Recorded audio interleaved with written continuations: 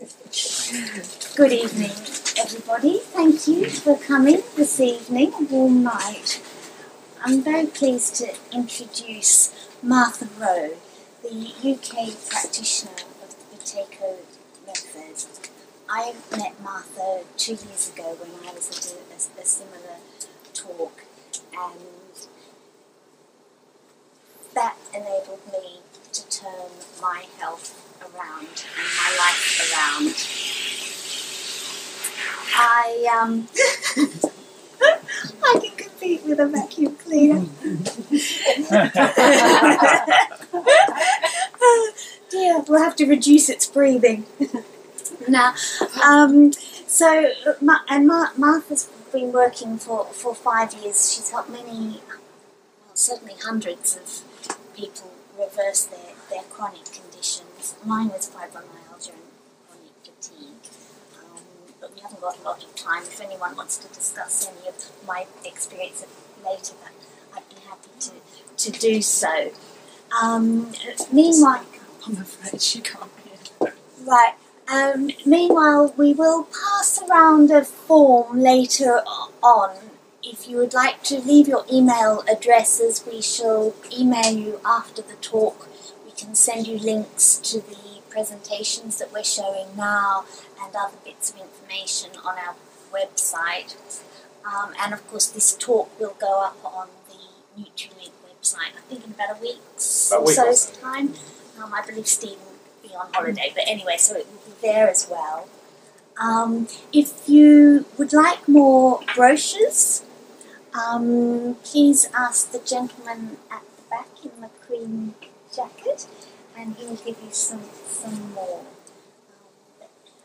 Um, I'm sure you'll find tonight's talk informative, and I hope that it will help bring you to better health and well-being too. Martha Roe. Well, thanks very much for coming to listen to what I have to say. Um, I had chronic fatigue syndrome, about 25 different symptoms that I lived with on and off, and I was so confused that I had no idea what was going on. Uh, I tried every kind of health health modality that you could possibly think of. I did get benefit, but not very much. And generally, the trend was as, as I got older, I was getting worse. And I got to the age of about 50, I was about two stone heavier than I am now.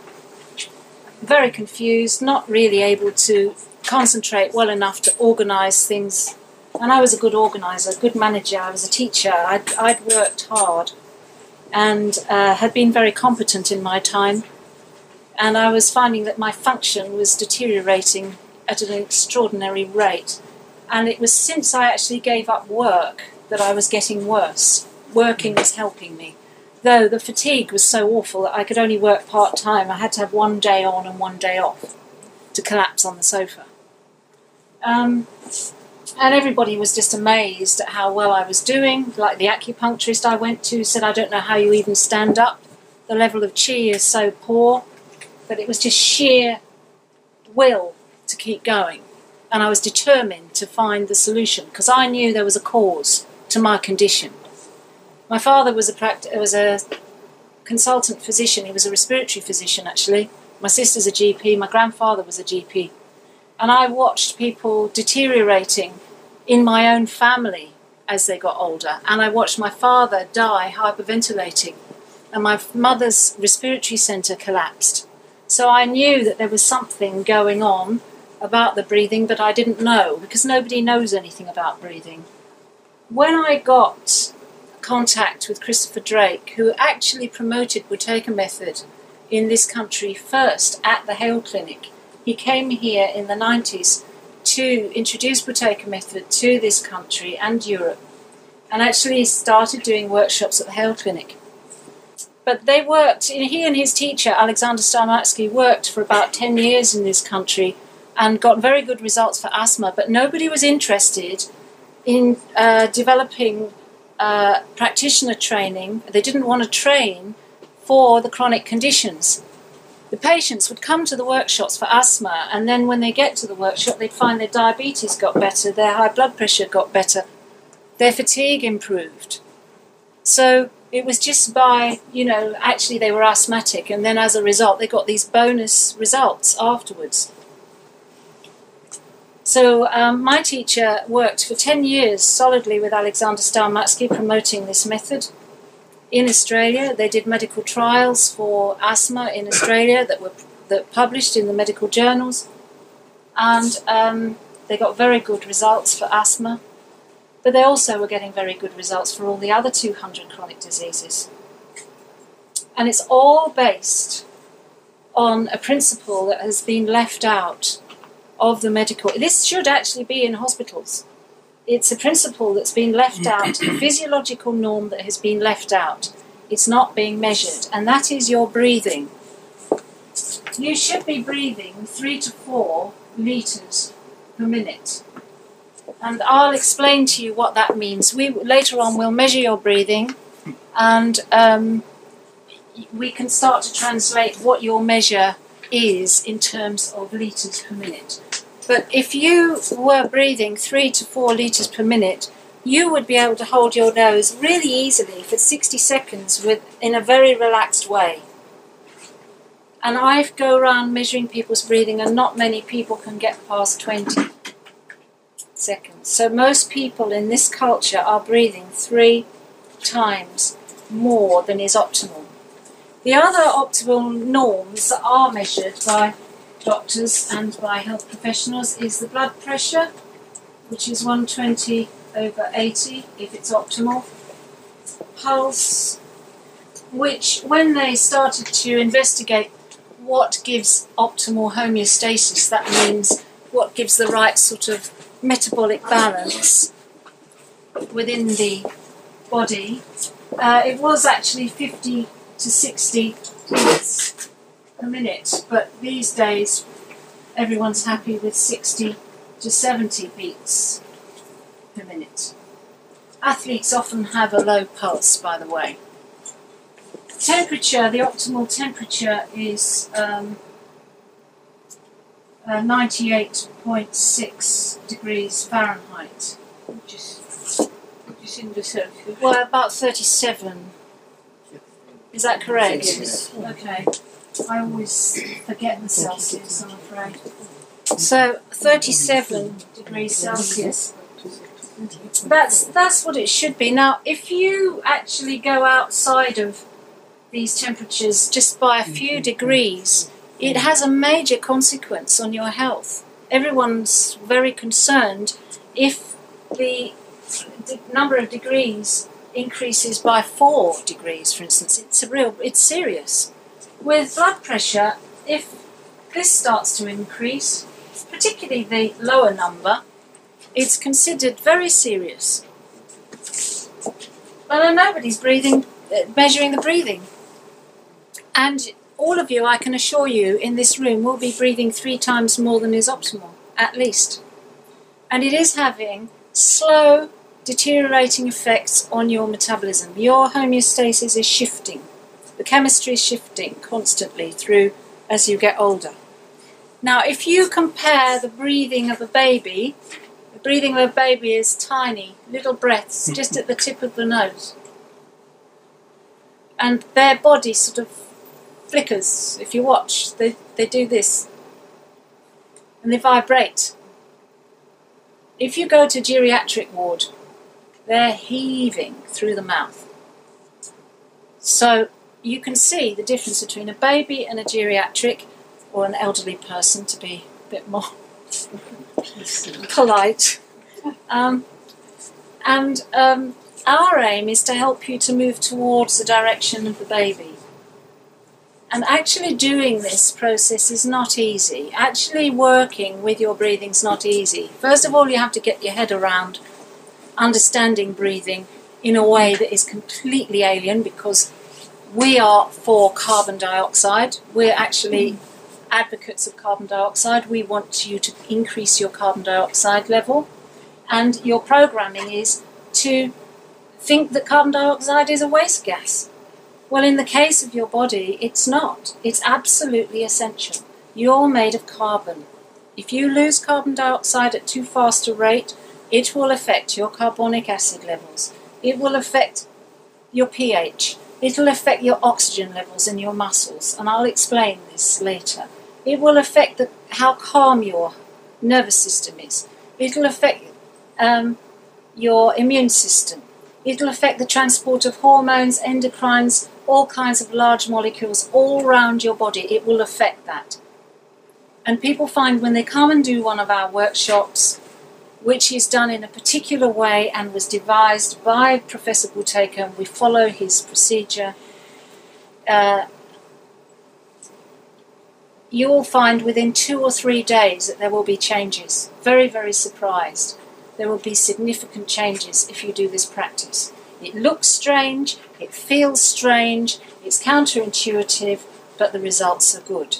Now, I found it very hard. I was a very difficult student. But I just persisted. I, I decided, well, I was just going to ignore anything that I came up with and just carry on regardless. And I kept going, and I found after nine months I was singing and dancing like a child again, and I'd never felt so well in my life before. And I couldn't get up a hill without stopping regularly, and I was heaving big breaths. And now I can speed walk quite happily up a hill, and when I get to the top, I feel fantastic. I can use exercise to feel good, whereas before I found exercise was very debilitating and very painful because I had inflammation through my body that you would not believe. The pain level was very high. So, you know, and the inflammatory condition I had is called fibromyalgia, and that's to do with a pH problem and to do with hypersensitive nervous system. And I found that by do, just changing my breathing bit by bit by bit, the pH problem went away. My muscles became oxygenated, and then I was able to function. My, that the actual balance of carbon dioxide to oxygen was corrected enough to be comfortable in my skin. Practically for the first time in my life, actually, I've never felt so good. So something happened to me when I was a kid. That's all I can say. I don't know anything more than that. And it's not really much point in thinking about it. There's not too much point in getting into the stories. The best thing is to just try to understand what we have to say, go away and think, think about it, do some more investigation, and if you want to do a workshop, you'd be very welcome. We also do one to one training with senior practitioners via Skype. The workshop is run over five consecutive days, two hours each evening. To build the practice, we build your practice over those five days. By the end of the five days, you will be able to begin your practice at home on your own. And then we follow you up for another three or four weeks after those five days by email, telephone, Skype, mobile, however you communicate. Um, you have to send scores, you have to send information about your symptoms, and we follow you up and encourage you to keep going. We give you explanations as to what's going on, why you're experiencing what you're experiencing, and then we have a reunion at the end of the month. And the price of that workshop at the moment is £425, and the next workshop is in September at Evolve Wellness Centre between the dates of 9th to the 13th of September, and it starts at 6.30 in the evening. And Christopher Drake will be there via Skype. He comes on to the screen via Skype and oversees the workshop and answers your questions. Where is the wellness centre? It's in South Kensington. Oh, Bedford. Huh? What is this? South Kensington. Yeah. It Um, takes how long you said yeah, for the 425? How, how many weeks? One week? Four weeks. Four weeks. Yeah, we give you five Giving- sessions to build your practice Yeah. and three to four weeks follow up with the practitioner. We give you individual coaching for three to four And how many how many hours per? I don't per know. week? We, do, uh, we don't count it. It's just according to how the student responds to the Oh, practitioner. very. per Yeah, it depends on the person. Some people can't be bothered to send their Okay. scores and don't bother to get in touch with us. Other people are in touch every day. It depends. But the thing is, is we're there, we're thinking about you, we have you in mind, there'll be someone overseeing your progress. and you won't be disappointed. By the end of the month, you'll come to the reunion, you'll be staggered at the results. They're very good. That's all I can say, really. And it's all because we are working with this optimal norm, which is not being measured. So, you know, I, I can say hand on heart anybody who does this practice, anybody who can do it, anybody who can follow the instructions, anybody who is willing to be trained and train their breathing will get the results. Otherwise, I wouldn't be doing this. And how do you establish the three to four liters per minute? Well, we'll, we'll, I'll measure your breathing in a minute.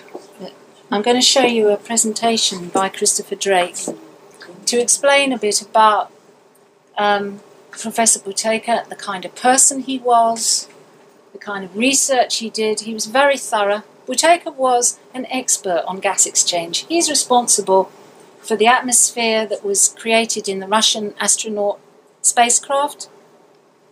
He's responsible for the atmospheres in deep uh, submarines. He's responsible for high flying pilots and, and um, how they've survived at those heights. He worked it out. And he worked out that the more you breathe, the less oxygen you will have. And he did that on the back of other scientists' work beforehand, people like Christian Bohr and Henderson. You know, he's, but he just followed on. He took up the baton of this issue of breathing. Other people had done it in the past, but he took it up again. He met with yogis from northern India because Russia had a good relationship with northern India. He checked their breathing, he measured their breathing, he was an expert on measuring. He created machines to measure. That was what he did. And he then worked out a system for retraining the respiratory center, which is part of the brain, primitive part of the brain, in the medulla oblongata. And it's not an easy part of the brain to work with. It has a personality, it's combatant. Uh,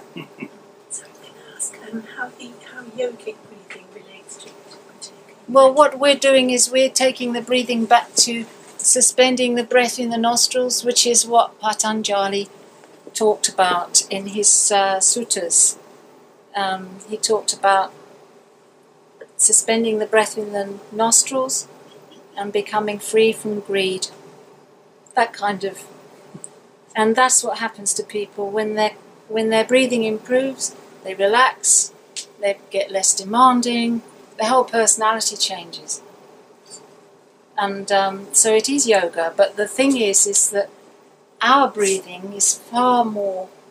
Um, it, well, it, it, our breathing is driving. It's the lack of um, sort of understanding about how the more you stimulate the system, the more you use your mind, the more you will breathe.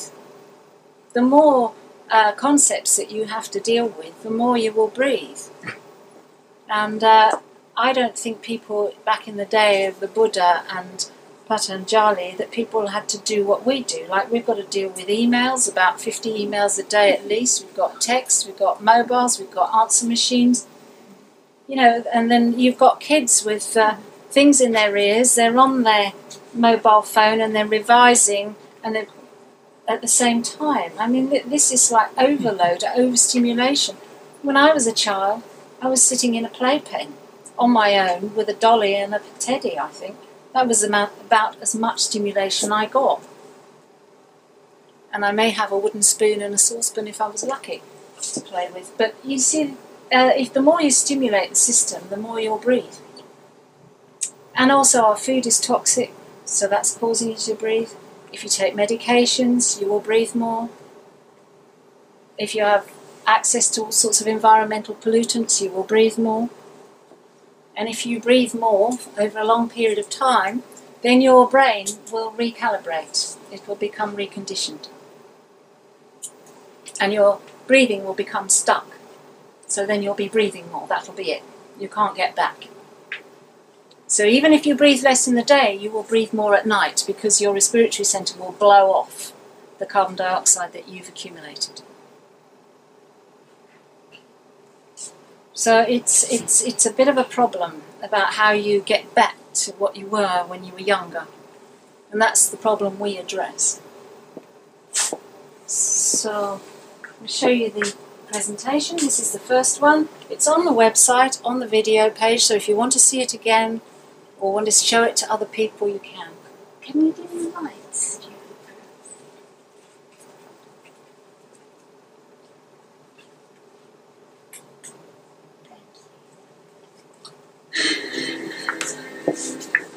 today to attempt to present what we think is one of the greatest discoveries ever made. And an extraordinary approach to reversing chronic disease. In contemporary terms, it has become known as the Buteyko method, a system of breath training which so far has been proven to reverse asthma and many other chronic diseases.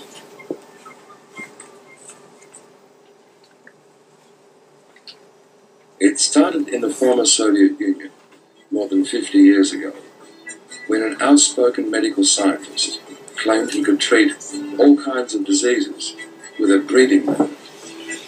His name was Dr. Buteyko, and he and his method became legendary as tens of thousands of people all over the country learned his method, often claiming spectacular results.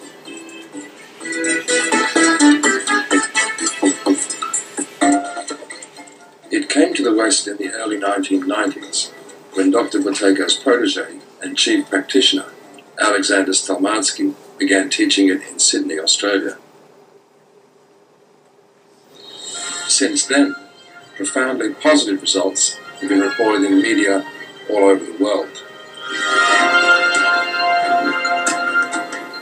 Buteyko practice has featured positively in major newspaper articles, television documentaries, and published medical journals in Australia, New Zealand, United Kingdom, United States, and Asia.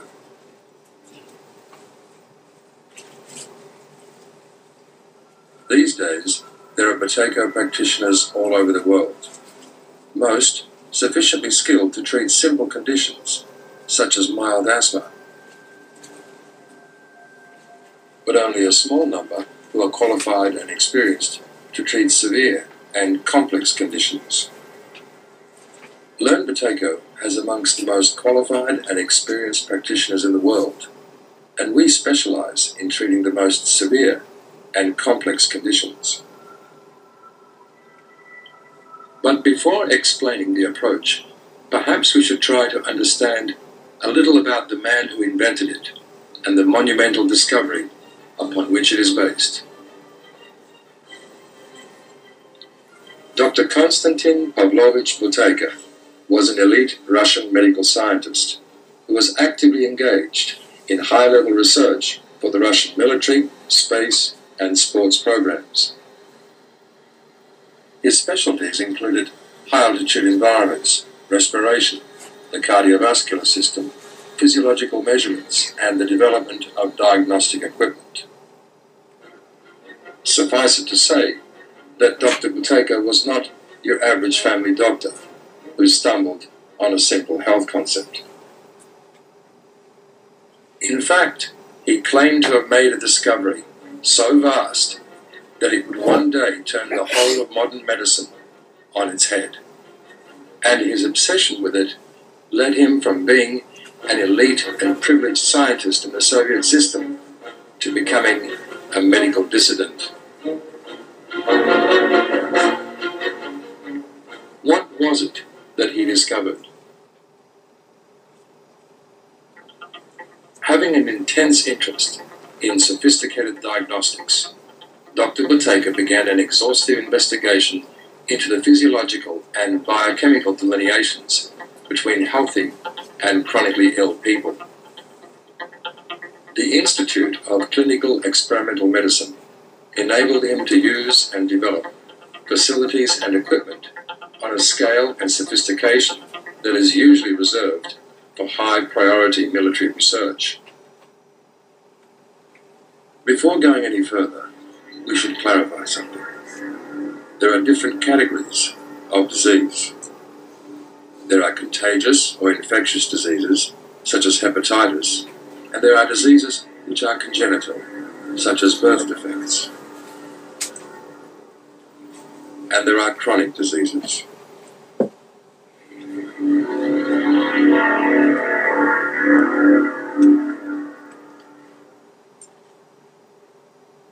Chronic diseases used to be called the diseases of civilization because they occurred with greater frequency in urbanized or more civilized communities and have grown with the so called modernizing of human society.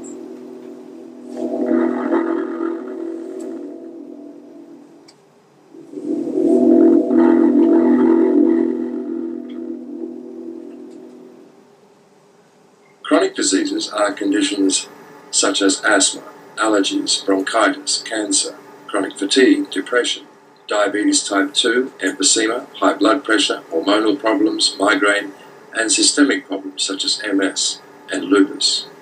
In fact, some 200 conditions fit into the category of chronic disease. There are some 30,000 diseases known to modern medicine, but chronic diseases only number around 200. But by far, they are the most prevalent and cause the most suffering for contemporary human beings.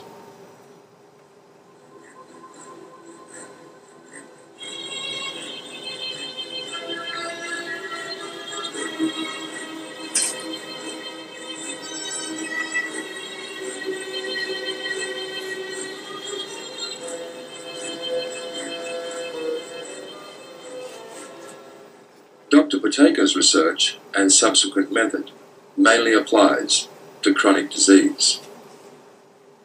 Coming back to Dr. Buteyko's discovery, what was it that he discovered? It was that one particular parameter indicated chronic disease more than any other. And that parameter was the level of carbon dioxide within the human organism carbon dioxide.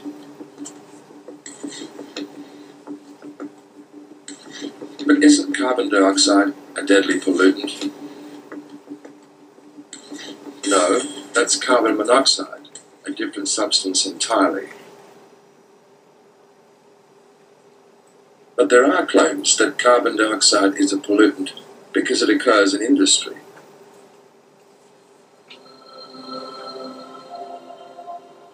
When in fact most of it occurs naturally and is a vital part of all organic life.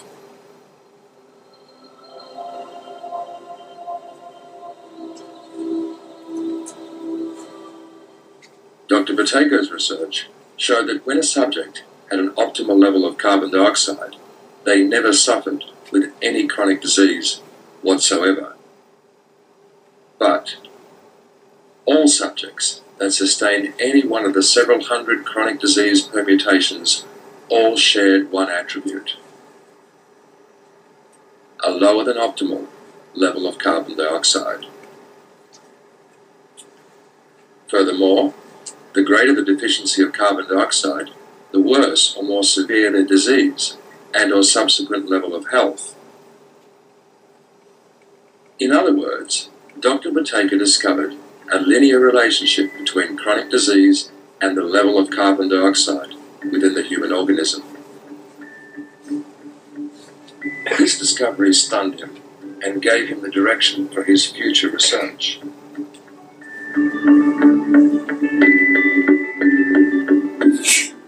According to established medical textbooks, the physiological norm or optimal level of carbon dioxide in the human organism is around 7%, a very sharp contrast to the level in our atmosphere of around 0.035%.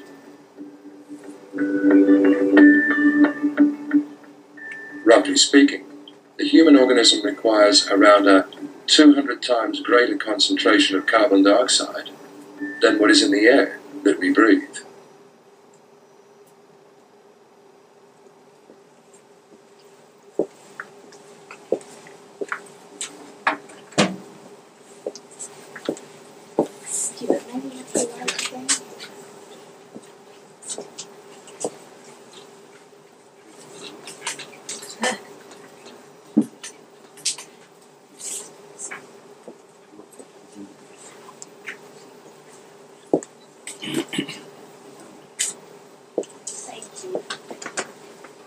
Okay, so I'm going to um,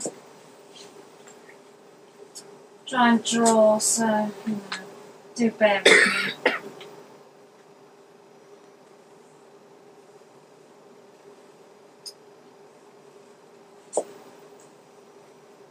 Okay. So we call that the respiratory centre, okay? It's in the back of the brain. It's actually in the um, brain stem. Uh, it's in the medulla oblongata part of the brain. And it's very sensitive to carbon dioxide levels. You see, you, how many people are familiar with the idea that the more you breathe, the more oxygen you will get?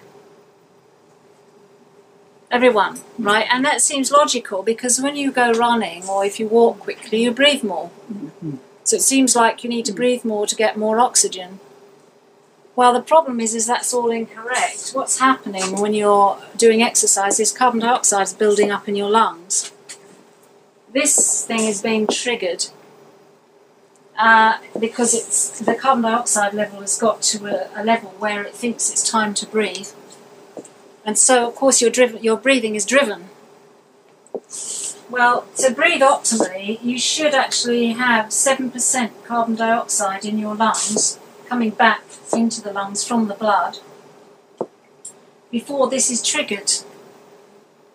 If you were breathing three to four litres per minute, you wouldn't breathe until the carbon dioxide level in the lungs had got to 7%.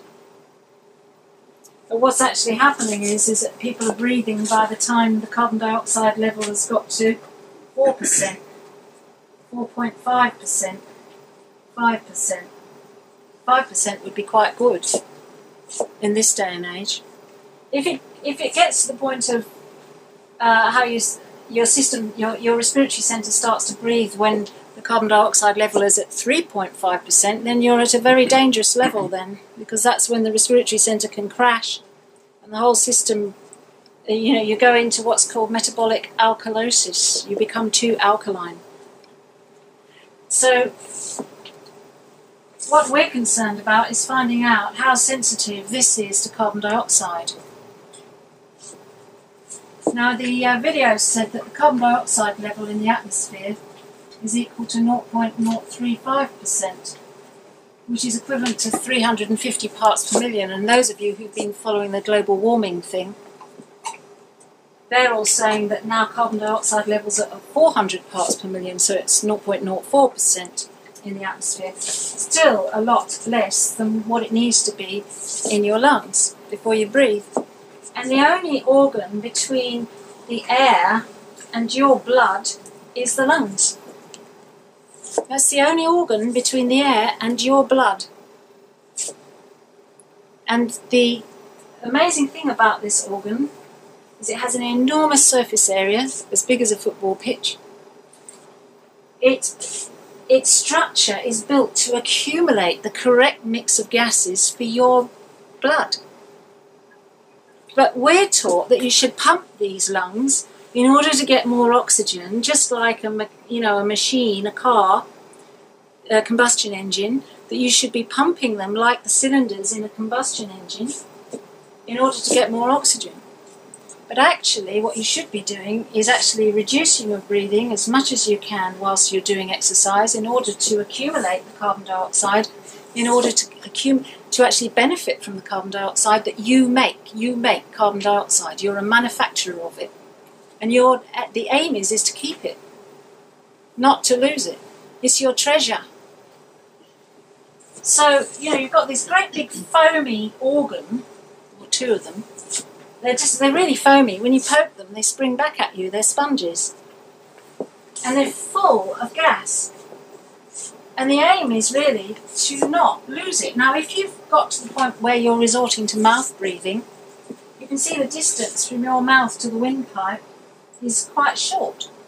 So, if you're a mouth breather, and if you watch the younger generation, they're all mouth breathers, all of them, and they're very vulnerable because their breathing is deteriorating faster than ours is because of the stimulation, because of their mental activity, because of philosophy, because of toxic food, because of these constant machines that they're on, you know, and, and their breathing is, re- they're really quite in a very vulnerable position at the moment.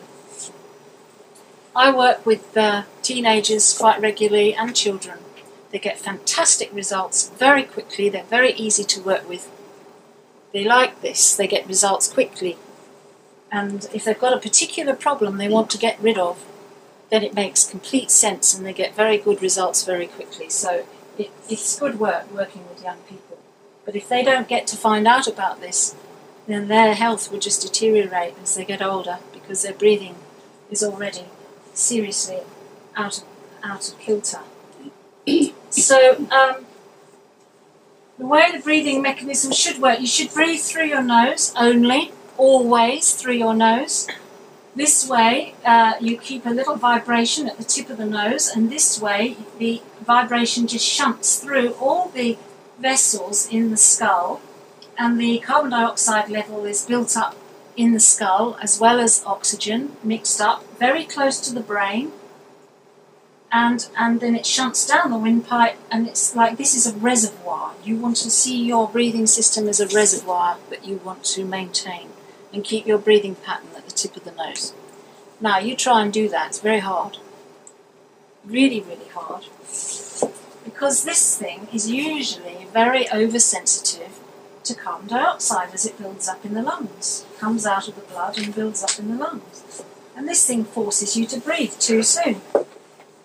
And the sensation you get when your system wants to breathe is suffocation. It's horrible. And it also creates symptoms of anxiety. So your anxiety levels increase as you breathe more. The less you breathe, the less anxious you will become because you'll have less of that symptom. So if you see these three lines as your intercostal muscles, and this line at the bottom is your diaphragm, the way it works is you build up carbon dioxide in the lungs. The carbon dioxide is picked up by the respiratory centre, and the respiratory centre causes you to mechanically breathe. That's how breathing works. You think that oxygen needs to be uh, obtained, and we're saying that you need to keep your carbon dioxide. So it's a very different message from what you've heard before. Now we can measure your breathing, and this measure is called a control pause. Now it's the time that you can actually still control your breathing very easily. So we'll ask you to take a normal breath in through the nose and out through the nose to relax, pinch your nose, keep your mouth closed, just pinch your nose and wait until you get the first difficulty, until it just feels that you can no longer control your breathing. It's no longer relaxed. And then you let go. And Marcel will put the clock on and she'll call out the time. And when you let go, you remember that time, that number of seconds, and we'll tell you how much on average you're breathing per minute. So everybody wants to get in comfortable position. breathe in. And out. Yeah, we'll go through it again, don't worry. We're going to breathe in through the nose, a normal breath. Out, a normal breath. Sort of until don't push the air out, you just relax it out. Hold your nose. But not yet, because we're going we're going to put the clock on, you see. But Marcel will lead you into it. Be comfortable and relaxed. Can you speak up, please? Be comfortable and relaxed. You Can you want to- demonstrate once, please, so we know how to do it? Yes. So take a normal breath in and out and hold.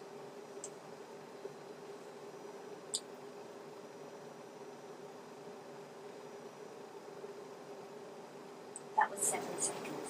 Say I needed to do that for seven seconds. I might wait till I might not need until late to, to breathe later. So you keep you keep holding until that first desire to breathe. Has anyone got an idea of what to do now? Yeah. Okay, okay, great. Take one up. No.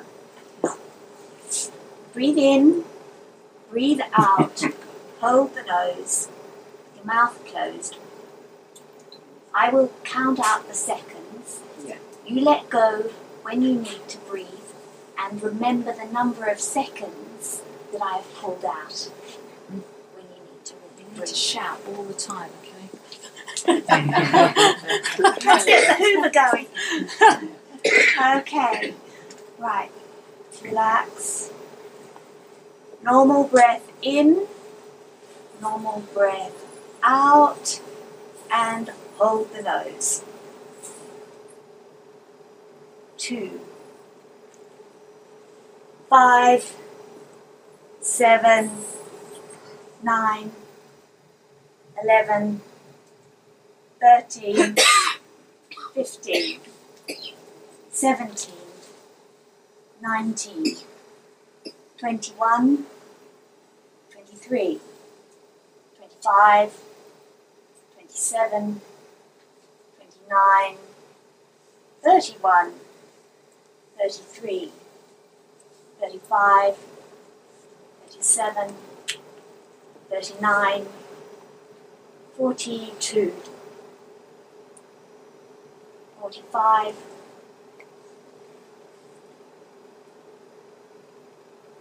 52, 54,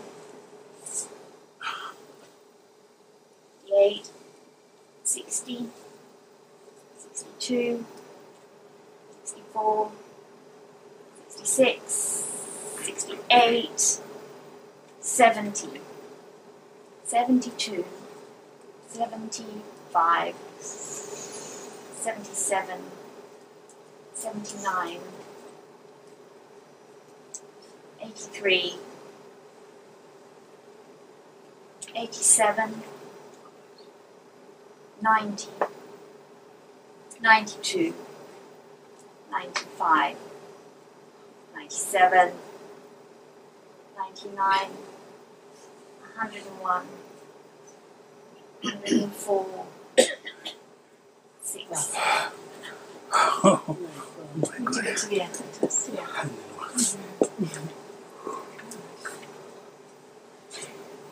Okay, he did a maximum pause, not a control pause. Okay, Yeah, so I thought you he's said to just do yeah, yeah. So, so, so his his respiratory centre is very flexible, which is a good sign. I mean, he'll find these pauses because we take the pauses up to about two minutes. So, um, you know, gradually, not steadily and gradually. And some people have a very flexible respiratory centre, um, and you might find that you can't do it again. so, um, but most people had a control pause of less than 20. If you notice, most people had let go by that time. Now, if you, um, well, before I go on to explain, I just wanted to point out to you, I didn't say how much oxygen there is in the atmosphere. There's 21% oxygen in the atmosphere, and you only need 2% oxygen in your lungs.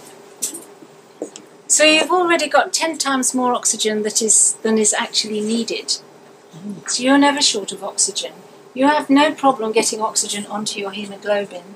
It's getting it off the hemoglobin that is the problem. And that's what we address. Because that's where carbon dioxide comes into it. Anyway, I'm going to have to rub this out now so that we can go on to explaining how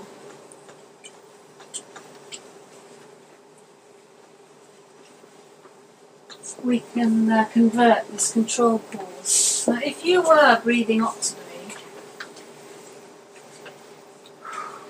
you'd have a control pause of 60 seconds. So you'd be able to do that easily with no pressure, no pressure at all. You had pressure, Mm. didn't you? Not on 60. You didn't on 60. No, 75. I just got You-. Yeah, you, you had and You get, but you breathed a lot after 75. yeah, So when you let go after the control pause, it's a normal breath, yeah. very light. It shouldn't be difficult at Okay. all. So um, 60 seconds is your control pause if you're actually breathing like a baby. if you're breathing double, six to eight litres per minute, that would give you a control pause of 30 seconds. Now, you wouldn't really have any signs of serious chronic disease if you have a control pause of 30 seconds. This is where problems start. Are you, are you saying that a baby breathes every 60 seconds? It's not No, like that. not that. No, the breathing pattern is like a wobble here. They, they do these little wobbles. We're talking volume. Uh, We deal with volume. We don't worry about breathing numbers of breaths and all that because it keeps changing. And with every mood and every thought, your breathing changes. I mean, uh, Buddhism is a study of that, you know. They, they studied uh, the breath. That's what anapanasati is, the Buddhist approach to breathing, and it's all about watching breathing and watching how breathing changes. 9 to 12 litres per minute is equivalent to a control pause of 20 seconds. Now, this is where the chronic disease starts. This is where you get an asthma attack. This is where the system starts to show signs that there's a problem with carbon dioxide deficiency. Then you can get uh, as low as 18 to 24 litres per minute. This is a control pause of 10 seconds. This is serious, this is a zone of serious chronic disease, and once it gets lower, it gets da- dangerous.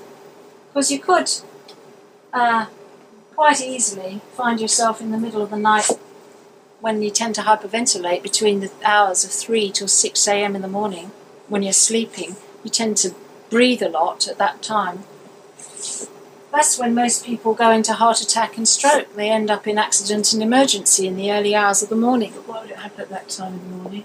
Because at that point, the respiratory centre drives the breathing. Because if you've been building up carbon dioxide during the day, it'll make you lose it at night in those hours.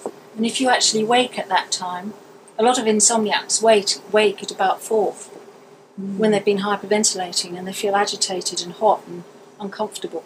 What about sleep apnea? Sleep apnea is a defense mechanism, the body's defense mechanism. It makes you stop breathing so that you can build up carbon dioxide. So it's another defense mechanism. Asthma is a defense mechanism, bronchus spasms, to try to get you to breathe more shallow. So this is a zone of serious chronic disease. And then once the control pause gets down to five seconds, we call that 999 job. And we get quite a few of those in our workshops, and they get very good results.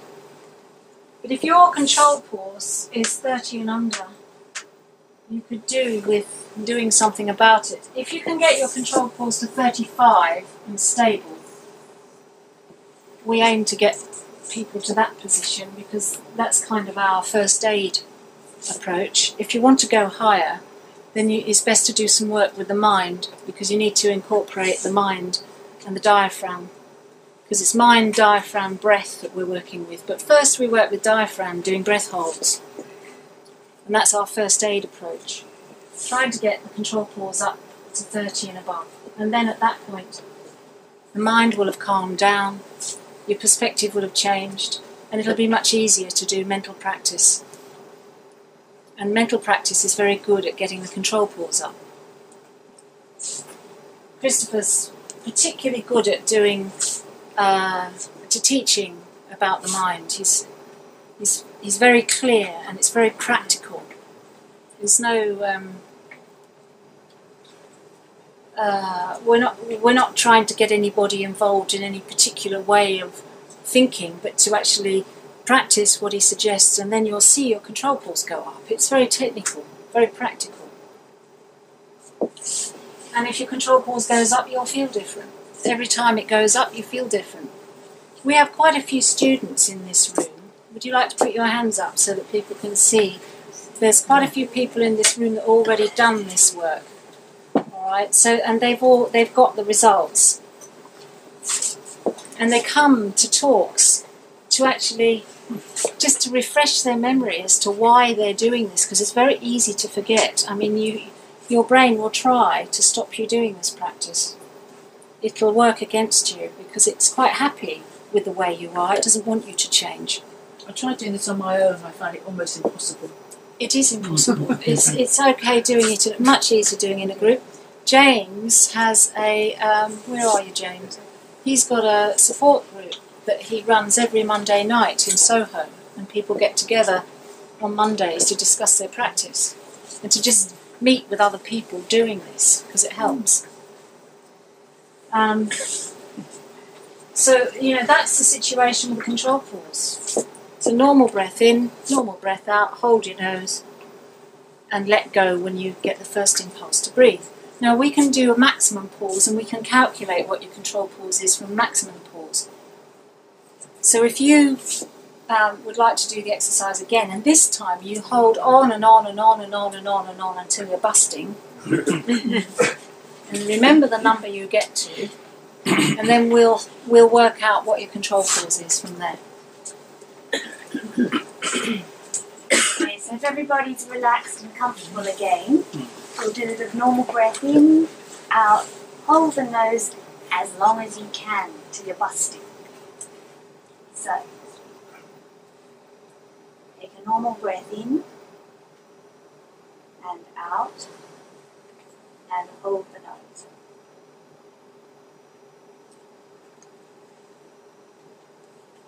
Five. Eight, ten, twelve, fourteen, sixteen, nineteen, twenty-one, twenty-three, twenty-five, twenty-seven, twenty-nine, thirty-one, thirty-three, thirty-five, thirty-seven, thirty-nine, forty-one, forty-three, forty-five, forty-seven, forty-nine, fifty-one, fifty-three, fifty-five, fifty-seven, fifty-nine, sixty, sixty-two, sixty-four, sixty-six, sixty-eight, seventy, seventy-two, seventy-four, seventy-six, seventy-eight, eighty, eighty-two, eighty-four, eighty-six. That's very good. Oh, I didn't go. Eighty-eight.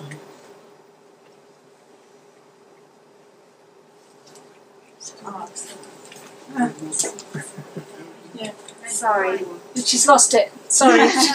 97. 90, Students. 97, okay. Very good. Has she been practicing this lady? Had she? She was a student, was it? Really really got to that level. No, no, no, the gentleman oh, oh, behind you. gentleman, Yeah, behind you, yeah. Okay, so if you take that number and halve it, that's your control pause. So if you're you got to 40, then your control pause would be 20. Hmm. Because we find that for people who've not done this practice, that the and they've they've never done maximum pause before. Uh, we it, there's a calculation that you can do that, that if you can hold for sorry I'm not I'm not making sense. um, if you hold your breath for as long as you can and halve it, that's pretty accurate. And you'll find that um, Yeah. your half your maximum pause is about your control pause. Yeah, it was. So what was your maximum? Ma- so t- mine was. No, it wasn't. Mine was. My maximum was. Uh, oh God, what was it now? So I was 20, 28 the first one, Yeah. and 28 and 35 the second. Okay, well you need to So halve it's the the half of 35. 30. So, so that's about So 17. Oh, Yeah, 17 seconds is So what control does pause. that mean? okay. Yeah. What does that mean? So that means I was forcing it before. Yeah, you were forcing it without Without realising it. realising it. Yeah. Let's, let's see. So what was, uh, does anyone else want to volunteer their maximum pause? You What was your ma- Forty-nine. Okay, well then you halve that, it's about 25. Your control pause is around 25. 41, you have, that's about 20. Your control pause is about 20. So what is the significance? Because originally, you know, when we did it first it was, I got about 100. Yeah, that's because you've never And done then- it before. And then this second one, only 60, Yeah, that's right. So your control pause is about 30. 30. Now what is, what is the significance of 30? Yes, uh, I'll, I'll answer your question in a minute when they've stopped. talking. You'll be here forever. Excuse me, why, why is it the control pause? What is the meaning of control pause? Well, I, I drew a, a, a diagram of the brain with a respiratory centre, which is in the medulla oblongata, in the sort of brain stem area of the brain. And we were testing for the sensitivity of that area of the brain to carbon dioxide. Now, if you hold your nose for 10 seconds and then you get the urge to breathe, that means that your respiratory sense is very sensitive to carbon dioxide. It's making you breathe at very low levels of carbon dioxide, at a low percentage. If, on the other hand, you hold your nose for 60 seconds easily, you will have 7% carbon dioxide in your lungs before you breathe. Your breathing centre will not drive your breathing until the carbon dioxide level is at about 7%. And it's a bit like, you know, if you go uh, 20 miles an hour over 15 minutes down a road, you can work out what distance you've gone. It's that kind of calculation. So we can hold our breath uh, for a certain number of seconds, that will tell us how much we're breathing on average throughout the day. That's a maneuver, it's a mathematical maneuver that Buteyko came up with in his calculations.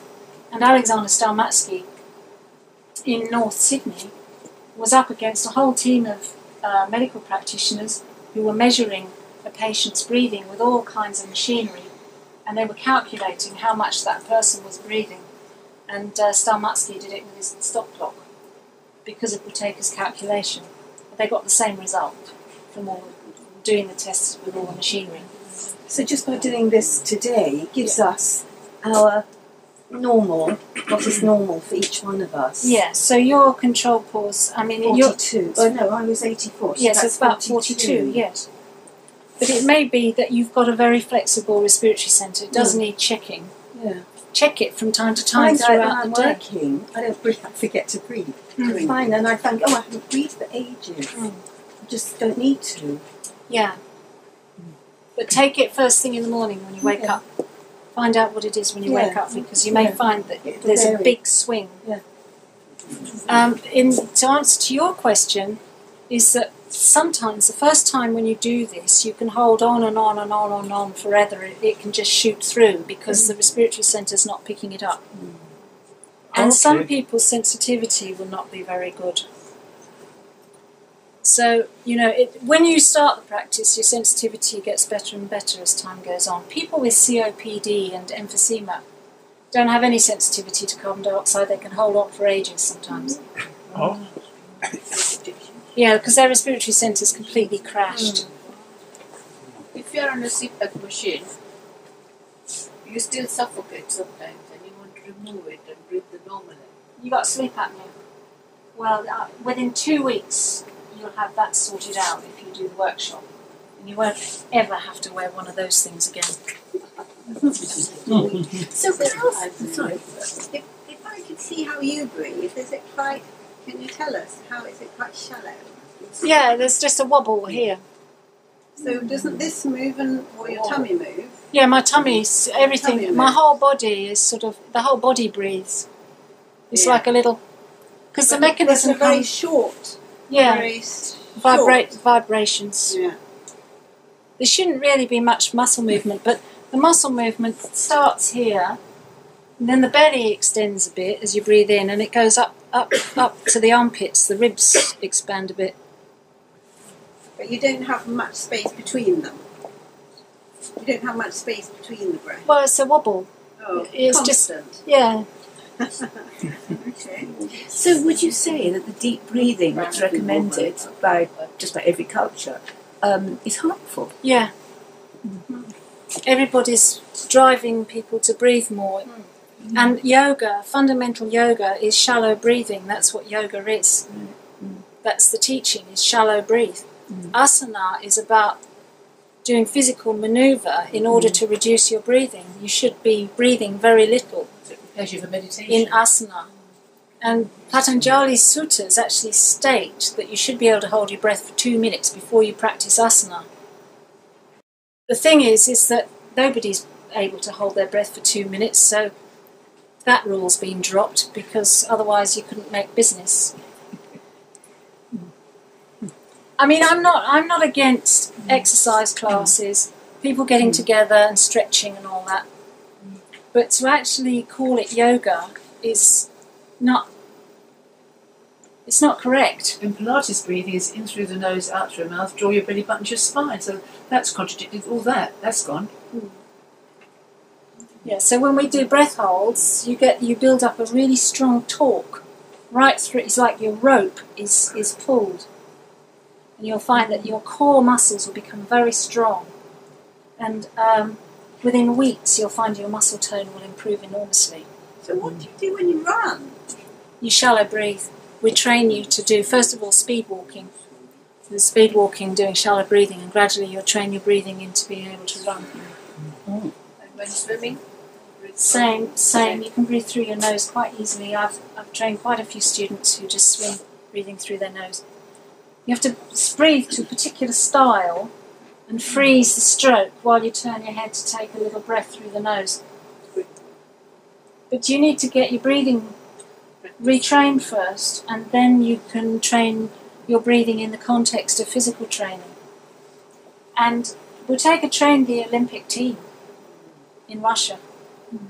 Chris has trained many Olympic athletes. The less you breathe, the better. Jack has trained loads of marathon runners. You can run a marathon breathing through your nose quite easily. You'll have no muscle fatigue. You'll be able to run a marathon the next day, and you will have enjoyed your performance very much. what if you have a cold? If you have a cold, well, if you had a high control pause, you wouldn't have a cold. I haven't had a cold for five years. Oh. Is it related also to the relaxation of, of the body? So you were saying the mind and the body are related. That relaxation is crucial to to stop the signals of saying yes, I must breathe in, or an impulse to say. So Yeah, I mean, the thing is, is carbon dioxide's a sedative. And if you're short of carbon dioxide, you become hypersensitive and anxious. So the more carbon dioxide you have, the more relaxed you'll become. But at night, you breathe quite. Sometimes when I wake up, I'm, I'm aware that my I'm quite deep breathing. Yeah, that's right, because it's driving at night. Ah. Your respiratory centre drives. The most dangerous time for breathing is between 3 and 6 a.m. And that's the time that we train people, often get them up in the middle of the night to practice. Sure. Because you'll find that four hours sleep is enough when you do this practice. And you'll get up at 3, you'll do your practice, and you'll feel fine. It's not sleep that gives you energy, it's carbon dioxide that gives you energy. Could this have addictions? Yeah. Very good for food addiction. Alcohol? Yeah, because it's to do with sugar levels. can we eat carbon then? Do that. Pardon? Just eat the carbon. Dioxide. Well, um, you know, sometimes we use things like bicarbonate of soda to help with nausea. But it's, but it, you know, it, it's temporary. See, we're talking about changing breathing. We breathe twenty to thirty thousand times a day, and if you reduce your breathing, we're talking about changing the breathing pattern. So uh, that you change the volume that you breathe, so that you lose less carbon dioxide. So most people are breathing like this. We would like you to breathe like this. All right, so that you don't lose the carbon dioxide. You want to, you want to keep this area looked after. This is your entrance to the reservoir. This you look after. You keep this very relaxed and keep it reduced as much as you can. If you've got an old injury like a fracture, so it hasn't healed very well. this help? Yeah, Yeah, it'll get worse and then it'll get better. Any injury gets better. So the benefits of this. And then we'll watch the next video. The benefits are that you will increase your oxygen levels in your muscles. PH throughout your whole body will improve. The nervous system will calm down. The synapsing between nerves and brain cells will become more orderly and more efficient. Your immune system will become active. So can you eat McDonald's now and still be healthy? You wouldn't want to eat No, I McDonald's. do. No, I mean, I you know. really wouldn't want to eat McDonald's. I know, but I'm, No, but I, your tongue would not want it. I'm, I'm saying that. What about rubbish food then? You wouldn't want to eat it. No. You really wouldn't. You'd feel sick. Okay. When you do this method, your body rejects anything that's poisonous. Or you, you think McDonald's is poison? I can't eat McDonald's. I but Beef steak's good if it's good quality beef. I'm all for eating meat, but it's got to be good quality and and the right dose. Uh, all the tubes in your system, bronchus, blood vessels, gut vessels, bladder vessels, reproductive vessels will all open when you do this practice. Everything opens and relaxes. Nerves relax, all vessels open. So you take into consideration all the conditions that will involve. We're looking at migraine, headaches, high blood pressure. We're looking at constipation, IBS, infertility. We're looking at all kinds of lung conditions. We're looking at brain function. Thyroid.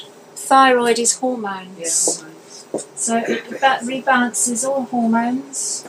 Cholesterol. Cholesterol. Cholesterol is a kind of mucus and it's thickening the blood. The quantity of uh, nitric oxide. Sorry? Does it improve the quantity of nitric oxide? Well, there's a lot of talk about nitric oxide, and I, am not an expert, so I can't really answer that question. But you'll find that the carbon dioxide levels, when they change, have a big, they make a big difference to how you feel. And we go by how people feel. We function. Our, our whole thing is about do the practice and work with how you feel. It's all done on your feedback. So can you say something about cholesterol? Yeah, cholesterol is a kind of mucus produced by the liver and it thickens the blood. And it, the idea is that the blood gets slowed down so that you don't lose so much carbon dioxide. So when people do this method, as long as they get the pauses up to about 80, 90 seconds, they will have no issues with cholesterol at all. Your blood will thin automatically because of the higher levels of carbon dioxide.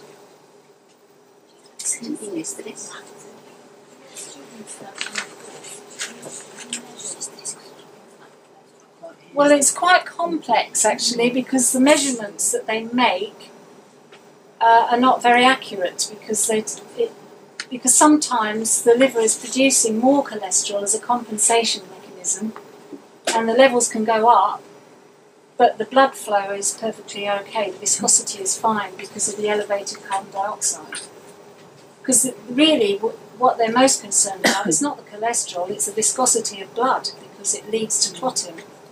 But with this method, you won't get clotting because carbon dioxide reduces the viscosity of blood, and you'll know it because when you cut yourself, it, it bleeds uh, quite um, vigorously. How many times a day do you have to practice? Four. 20 minutes it takes in the first week, and then you can start working out how to get it done in 10. Excuse me. Sorry, I'm just a bit confused about this oxygen bit. Yeah. Because, they- for instance, they sell oxygen here, you know, Yeah. liquid form. So why would they do that? I mean, why would they not sell carbon dioxide? Yeah, well, the thing about oxygen is you feel better. If you've got problems with breathing, you feel better Yes. when you take it. Yes. Uh, and in the short term, Oh, it's short helpful. term. Right. But in the longer term, it will destroy your health. Right. because you'll start to breathe more and more, and you'll need to take more and more oxygen. No, no, it's liquid form. In liquid form, I'm talking about. oh, you mean it you in drink liquid it? Form. You Yes, drink it? Drops. Oh, I'm sorry. No, drops. You put drops in water. I don't know much about that. No, no, it's okay. Yeah, I do know about this though. Yes, of course. So oxygen, pH, nerves, nerve to brain cell, immune system, vessels, hormones. Have I missed All, all the systems. Yeah, all the systems, the digestive system. Yeah. Um, so you'll find that your whole general health will improve dramatically. You'll sleep better. You'll eat less. You'll be able to do more. You'll have more energy. You'll become better at concentrating. You'll be happier in yourself generally.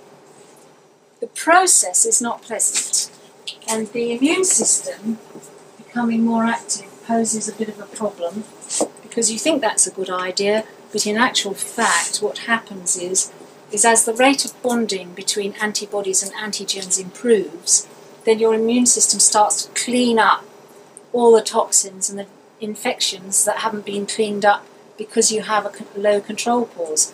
So when you start this method, your body starts going into spring cleaning, what I call spring cleaning. And if mm. you've got a backlog of 20 years worth of spring cleaning, it can be rather unpleasant. But you'll find that once the spring cleaning is over, you'll feel better. Then you'll get another bit of spring cleaning, then you'll feel better. Another bit of spring cleaning, you'll feel better. Something about immune system, you can what about immune system illness? For example, grave disease or myasthenia gravis. It's helping also in this Yeah, way any autoimmune disease is, is helped. because the immune system is getting this Graves Yeah. disease and Yeah, but the- myasthenia gravis. If you have a low level of carbon dioxide, Yeah. the rate of bonding between antibodies and antigens Yeah. becomes uh, reduced, reduced, and more chaotic. The body and the mind is being bombarded by allergens, all kinds of outside things all the time. So the immune system is having a hard time if you have low carbon dioxide. And do you, you tell me helping in autoimmune illness? Yeah, that's right. Well, Christopher Drake had um, Crohn's disease. That's an autoimmune condition. Ulceration of the colon.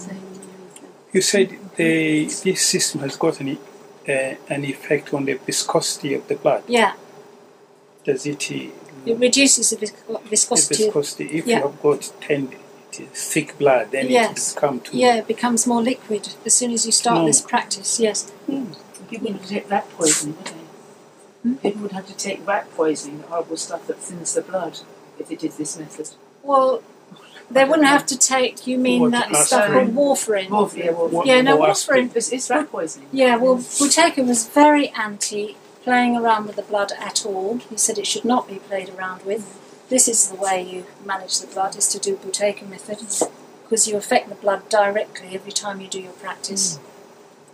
And he was dead against uh, anyone doing transplants, because he said that once you do that, then we can't really help them, because they have to take auto, they have to take immune suppressants in order to keep keep keep the organ that they've had transplanted. So our view is that when someone's coming up towards a transplant, they should actually start this in order to see if they can start to. Not many people know about it. It's, just don't know about it. Mm. No, well, we're doing our best. Yeah. Some people, after a long plane flight, start bleeding. Yeah. That gives them high blood pressure, so then their blood vessels burst. No, blood pressure is okay. There's long flights. Um, Yeah, but the anything to do blood, with the blood, blood the nose. Yeah, but you'll find that the blood pressure will have been affected on the plane, and then the the blood vessels will burst. It's very temporary. It's very, you know, it goes, it fluctuates very quickly. And the reason why is because when you're flying, you breathe more. Flying is very dangerous for breathing. Actually, we give special instructions for reducing your breathing on a plane journey. Focus on abdominal. Yeah, but it's really, real. You know, we don't eat on the plane. We don't drink much except keep the mouth wet. We we practice our uh, pauses. We practice on the plane. and we try to breathe as little as possible on a plane. Do you do meditation? Sure, watching the breath is meditation. Does it help eyesight, you know, cataracts and Yeah, yeah, glaucoma as well. Oh, it does. Yeah. Hmm. Someone has got a stent and is a smoker. Yeah, Would that's fine. him? Yeah, sure, sure. Yeah, smoking's not such a problem as people think. Would have problems smoking. Yeah. No, drinking What is more of about a problem. sniffing? Um, hmm? Sniff. What, cocaine? No, no. You mean sniffles? No, no. You know the stuff like uh, tobacco.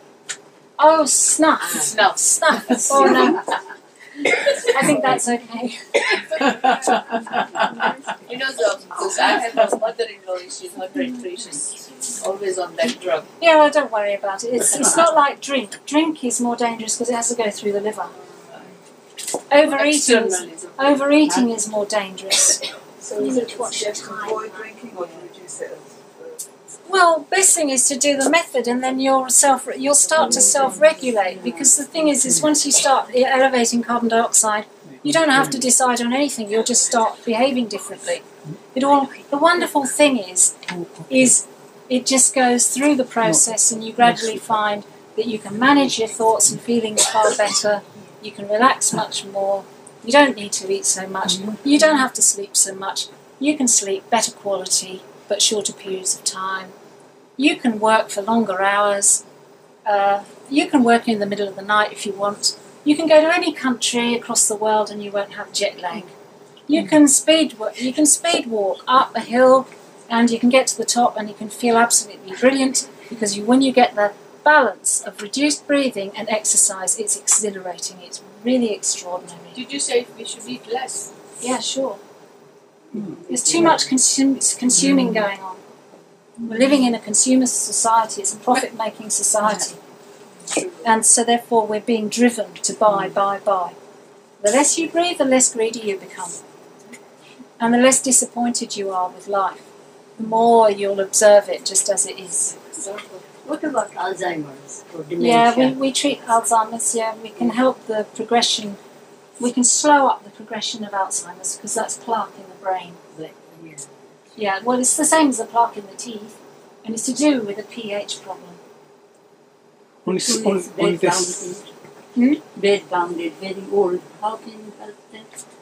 Well, um, it's a bit of work, but it has been done. But it needs, uh, you know, I've got. Um, if they have a carer who will do it with them and keep working steadily through the day doing practices, that will work. I've got someone in Ireland doing that now without Alzheimer. His daughter's done the practice and she's doing it with him every time. He can do it because he can't remember what he's got to do, so she has to remind him each time. yeah? On the sleeping aspect, now you say you, you, you don't need more than six hours. Probably That's right. If you have a hours. high control pulse, And uh, many of the books, I think they recommend eight. You need eight that's hours. of right. Yeah, yeah. So We're all being asked to eat breakfast, lunch, supper, and to sleep eight hours a day. yeah, yeah, yeah. That's the formula. You don't need to do that. I eat once a day at the most. That's all you need. Do you drink? once in a day. Drink. I So you only need What, breakfast. alcohol? So- No. Yeah, I do. I drink fluids when I'm thirsty. I drink when I'm thirsty. I eat when I have appetite. I sleep when I'm tired. When my eyelids are dropping, I sleep. I wake when I wake. And and you know, it's about it's about understanding that if you go to this formula, if you do anything in a routine, it will work against the metabolism. The metabolism will get sick. So even with medications, for people who are taking medications, Buteyko's view was that you keep changing the dose. You never give the same dose. Keep changing it in order to keep uh, the, the dynamic of all the chemical reactions moving and shifting and changing because it's a constant flux. We're in a, so once you get into a routine, the system becomes wooden. So what if I started to breathe less every minute? Not your way, because I don't know your way. Would that be better than breathing a lot? Sure. Best is to keep your mouth shut at all times. and no, but I mean, really, uh, Yeah, yeah. uh, and to learn how to breathe through your nose when you're talking, to use your tongue to block your, your airways when you're talking, so you stop talking, You put your tongue on the top palate, take a sniff through the nose. And that's how you that's how you breathe when you're talking. Tape your mouth at night so you don't breathe through your mouth at night, and and you look after your breathing. It is hard, but if you do the workshop, you'll have all the skills in a month. You'll have it. So basically, this method can improve snoring if somebody does. Oh yeah, snore. anyone who snores, the snoring stops within nights. Do you have anybody? And it helps in house. Sorry. Do you have anybody from the method who didn't work? Not. We have plenty of students who don't practice and it doesn't work. Yeah. But those who practice, it works. There are very few cases where there are systems that can't absorb the carbon dioxide. The damage is so bad that the system can't take it on. But those I've seen two of those cases in five years. Platelet count. Some people have problems with platelet count. Yeah, that'll help. That'll improve. Yeah. Yes. Yeah. Yeah. There are all these things that everyone knows that people don't know the cause of. The cause is carbon dioxide deficiency. And the reason why people have different symptoms is because their genetics is different. So people have different genetic mm-hmm. predispositions. So you'll get some people get asthma. For us, asthma's the greatest thing because it's a symptom that's directly mm. related to breathing. It's uh, a surface defense mechanism. It's not deep in the system, and it's easy to sort out. But it's lethal. Hmm? It's lethal. Asthma? Yeah. No, it's not. It's only what's lethal is the medication. No asthmatic died young before they actually brought out medications. So asthma is actually asthmatics are strong people. They live long lives. They they tend to be quite robust. Sorry,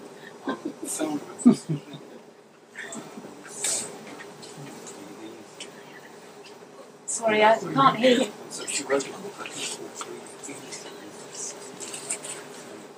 No, it's not. We retrain the respiratory centre. We do breath holds. Oh, well, I haven't read the book. What's her name? Oh, yeah, Teresa Hale. Yeah. Yes, well, Christopher worked here. Oh yeah, got one actually. Yeah. There's- And yeah. Teresa wrote a book. Yeah, I've got it. She, she, Yeah. she, I've got Yeah, and. Alexander Stalmatski worked here as well. And Vladimir Sukhanosov. Vladimir's still alive and he's part of our team. And these practitioners, they, they live in Asia now and we work via Skype. We br- I bring them here via Skype. That's what I do. I, and then other practitioners take them to other parts of the world via Skype because physically it's impossible to travel. So people get access to their skills via Skype now. Well, when they were younger, they travelled around Europe and they, they did a lot of workshops in Australia. And then uh, later on, they moved. Uh, Sasha and Vladimir went back to Russia and worked there, and Christopher worked in Asia. So they've been pretty much all over the world in their time. Are there any books on this at all? No, we don't. We, well, Alexander Stalmatski wrote a book called Freedom from Asthma and Insomnia. That He wrote a book on insomnia Yes. as I've well. got this book You can get it on. You can get it on Amazon. I've Patrick got one I've got. Yeah. Yeah, Ca- Patrick McKeown. Um, he's not part of our team. He's Oh, it's not. he's not classical. We're classical Buteyko method. Oh, He says not to. I just Sorry. opened it. He said not to try it if you have if you're having uh, current treatment for cancer, for this, for that, for the other. For Yeah, yeah. All Well, sorts of things. He does a then, yeah. diluted version. Yeah, so it's not. Oh, Yeah, said they- we do the hardcore. We Yeah. do, we work with serious cases. Yeah. so Well, which one use do it you as- rec- which book is, is for the Well, you can't get it out of a book because we won't teach it out of a book. We only teach you in workshops because you need to be supervised. Do you with um, medical conventional no it's- medical practitioners like doctors and nurses? So um, if you start the method and um, the nurse wants to wants to carry on this guy here, this inhalers, how would you? We've got our ways. We coach the student how to speak to the practitioner so that they don't get upset and they support what the patient is doing. We some the person sitting right in front of you had to do all that. So it's oh we've got to finish, have we? It's half past eight. Oh. Oh, okay, I didn't know that. Okay, so then I need to go through the Bohr law before we start this lesson. Seven days silence. Anapanasati. So that is similar. Yeah, I used to do 10 day retreats at uh, Amaravati. Hereford. Vipassana meditation is at Hereford, yeah. I did Vipassana meditation when I was 20 something. I used to do 10 day retreats with Ajahn Sumedho at um, Amaravati. I felt great after the retreat for two weeks and then I was back to how I was. What we do is we retrain the respiratory centre so that you can maintain your work, so that you're always able to reduce your breathing. You can do this practice in Tesco's, you can do it in a public toilet, you can do it anywhere. So And you- meditation's easier. Sorry? Is your meditation easier? No, the practice is easier. Because you get the same results from an hour's worth of meditation in 10 minutes. It's much quicker. Because it's about elevating carbon dioxide. Meditation elevates carbon dioxide, but you can't maintain that level because your respiratory centre will blow it off. So what we do is we retrain your respiratory centre so it doesn't blow off. And I, sorry, I didn't know this talk was only for an hour and a half. Yeah. And um, I wanted to show you the next video, but it's on the video page on the website. But there's one relationship that I want to go through, which is called the Bohr law. And this is the relationship between carbon dioxide and oxygen.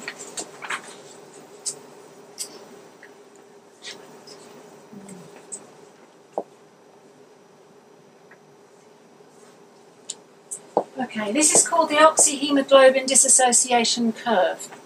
Okay, so what that means is hemoglobin attaches oxygen to it from the lungs. You get oxygen goes onto the hemoglobin from the lungs. Dissociation means splitting. So this curve is about the splitting of oxygen off the hemoglobin, and we call that oxygen uptake. So that's the discharge of oxygen onto into the cells and the tissues. Now, if you have a low control pause of about 10, your oxygen uptake will be very poor. Very little oxygen in your tissues and cells, very bad pH. If you have a better control pause of around 30, you'll have more oxygen in your tissues and cells, better pH. If you have optimal carbon dioxide in your lungs when you breathe, which is at 7%, and you have a control pause of 60, and you're breathing 3 to 4 litres per minute, you'll have optimal oxygen uptake. So it's to do with the, if you had a car, you'd want the right fuel to oxygen balance. What we're talking about is having the right carbon dioxide to oxygen balance so that you can drive your vehicle smoothly. Which And is your related to the pH. Yes, because carbonic, it, all of carbon dioxide converts into carbonic acid. If you keep carbon dioxide and you mix it with water, you'll get carbonic acid, and all the pHs will be referred according to your carbonic acid levels. And when you replace the lactic acid with a carbonic acid, then your muscles will be able to work better because lactic acid is okay in the short term, but in the long term, it's vicious on the muscles. You know, it causes a lot of inflammation. Most people have got lots of lactic acid. Oh, sorry. So, if you have a low control pause of about 10, so say you have a very low percentage in your lungs, and this triggers your breathing, you'll be breathing quite deeply. Your breathing pattern will be, you know, quite big. Someone who's got diabetes, high cholesterol, and high blood pressure, when they walk up a hill, they mouth breathe, they just heave air. They've got a low control pause, about 10. They can't help themselves. They have to breathe because they can't tolerate carbon dioxide. They'll have very low oxygen in their tissues and cells. And they'll be fatigued and confused. If you have a higher control pause of about 30 seconds, you'll have you'll breathe when the carbon dioxide level is at a higher percentage, according to this, it goes higher, higher percentage of carbon dioxide. You'll have more oxygen released off your hemoglobin. You'll have a higher level of oxygen in your tissues and cells. If you have optimal carbon dioxide in your lungs before you breathe, you'll have 7% carbon dioxide in your lungs before you actually breathe. And you'll breathe very shallow because you'll be breathing three to four litres per minute at the most throughout the day. Uh, sometimes it'll be less and sometimes it'll be more, and your control pause will be 60. At this point, you have very, very uh, high level of oxygen in your tissues and cells. In fact, it's optimal. It's not going to get any higher than that because the line goes up. Excuse me, It's sorry, you know, you probably think I'm a bit. But the thing is, then it's good to have oxygen in your cells, isn't it? Yeah, yeah, that's what you want. Yeah. But in order to get the oxygen into your tissues and cells, you have to have a higher level of carbon dioxide in your system Yeah. because it's the carbon dioxide that releases it off the hemoglobin.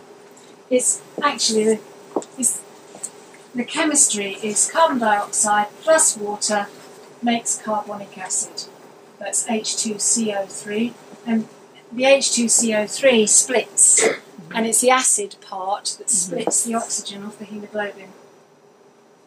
So it's the carbonic acid that splits the oxygen off the hemoglobin, and the carbonic acid that actually regulates your pH. Will exercise help uh, the control pause better? If you train your breathing first, yeah. But you need to train your breathing first. And then you train doing exercise and training your breathing, having trained your breathing. What's your control pause? Yeah, it's no good. You've got to get your control pause up to 30 before you start doing aerobic exercise. Christopher doesn't recommend anyone to do aerobic exercise until they have a control pause of 30. You don't have the budget. it's all about the budget.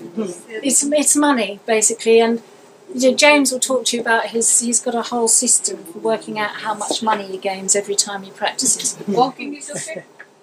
Walking is fine, but you need to, you know, you Do got this and yeah, yeah. If your your control pause is, Very bad. Don't want to know. I mean the thing is, Really it's, low. it's up to you. You've got a low control pause. If your control pause is less than twenty, you should do the workshop. Swimming is good. Yeah, it is. Yeah. Swimming would help with this. But You're not going to be able to get a higher control pause by swimming, no. No, you need to retrain your breathing first. Sorry? Do the whole book first. Well, it depends what you're doing, but Well enough. Yeah, that's the one. do you, do you, oh yeah, well, it's, it's relaxing. Sometimes I can go very far, like just under my breath. But if you want to stabilize, if you want to stabilize your breathing, this is what will do that. Because diving you'll do for how long in a day? How long do you dive for in a day? Right, so therefore it's not very much of the day. We breathe for 24 hours a day. So you need to monitor your breathing throughout the whole day. Anyway, I was given this exercise that in the morning you get up, you go to the, window or the door, and you breathe in, it as long as possible. And then you hold one nose, exhale, slowly, and then you intake through the other nose. Alternate and then nostril breathing. that. Yoga. Yeah, well, this is all playing around with the breathing pattern. It's a different thing. We don't play with the breathing pattern. We change the breathing pattern by changing the calibration of the respiratory center. That's what we're doing. We change the breathing center. It's a bit like changing your thermostat on the heating to make sure it's at the right temperature you want it at. Temporarily, it will help. It'll make you feel better if it makes you feel better, but it'll be temporary. Okay, so therefore, you know, I used to do 10 day retreats. The effect of a 10 day retreat would last for two weeks. And then I'd feel terrible again afterwards. If, I, if you want to get to a place where you feel fantastic all day, all night, every week, every month, every year, doesn't matter what you do, you feel great. And when you don't feel good, You've got a tool to use to get yourself to feel better. You do this. If that's what you want, do this. After, after a month, after doing the workshop and the, the focus, what sort of support is there? Well, if you're in trouble, you call in And you can come to any beginner's workshop. free of charge. Yeah, Any you've got to beginner's be- workshop after the workshop you've attended, you can come to free of charge, and you can go to James's support group How often do you have the workshops? every couple of months. We've got one in September, one in November, one in March next year, so forth. Can fast you get this Hmm? on your website? The, Yeah. the schedule of the audio. We're not yet. We're, we're working on it. Can we book it today? Yeah, if you if you want to just say you want to do a workshop, talk to Marcel. Any other questions? Is it only in, in South Kensington, you say? Is it in Kensington? South? Kensington. South Kensington, and then we do them in Victoria as well, Pimlico. Would you be doing it anywhere else Where locally? No, I'm sorry, but if you can get a group of people, we'll come.